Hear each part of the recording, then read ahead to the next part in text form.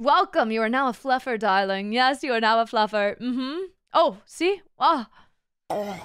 Oh. You look lovely. Oh. Cotton. Thank you so for much. I really for heart. appreciate that. Actually, you've been well behaved today, I suppose. You've been well behaved.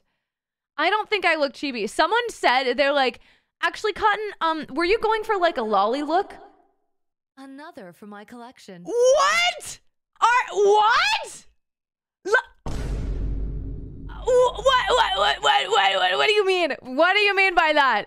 No, I fucking was not. No, I, I didn't mean to hit that hard eye. No, I fucking was not. I'm working on my Queen Cotton cosplay right now, and then now I gotta make this new version you debut. Yeah, Anyways, sorry, buddy.